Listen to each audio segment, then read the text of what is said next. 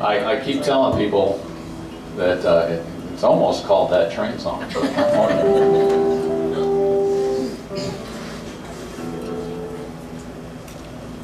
This one is not on the new album. This is on an album called Eastbound Train.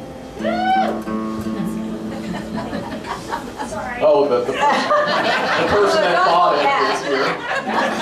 Don't hold back. She's got it. That's the, uh, the Ashley Gang second. I always preface this song by swearing that it's not autobiographical. There's certainly some autobiography in some of this music. This, this really isn't honest.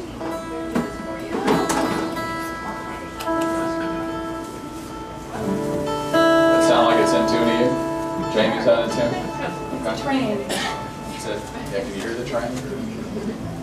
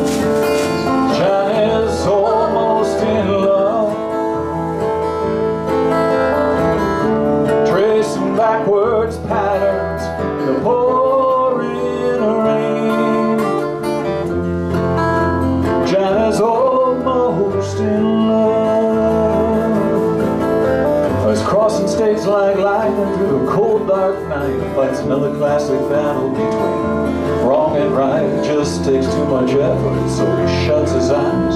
Flies straight through Oklahoma as a whistle cries. Now he could have gone to college, he could have gone to France, might have found the cure for cancer, but he never had the chance, slightly lacking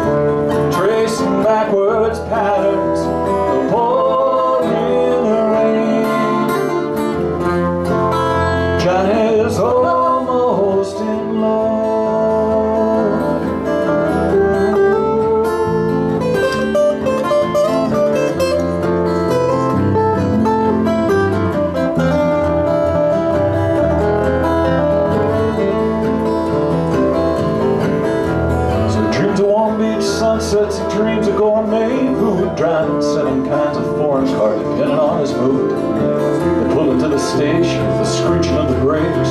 No reality comes flooding home as soon as you're awake. So he steps out on the platform of some cool northwestern state, looks around in expectation of a providential fate. Full of cautious optimism, might just work out this time. But if it falls apart again, he'll line.